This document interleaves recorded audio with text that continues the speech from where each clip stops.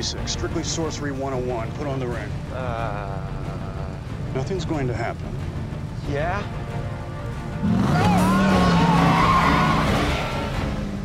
Kidding. You've heard how people use only 10% of their brains.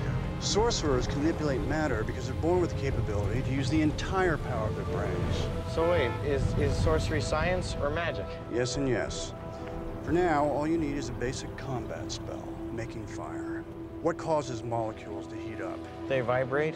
Everything we see is in a constant state of vibration, thus the illusion of solidity. But how do we take that which appears solid and have it burst into flames? We will the vibrations to go faster. Step one, clear your mind. Step two, see the molecules. Step three, make them shake. Oh. Got it? No, I, I definitely don't got it. Trust the ring, Dave.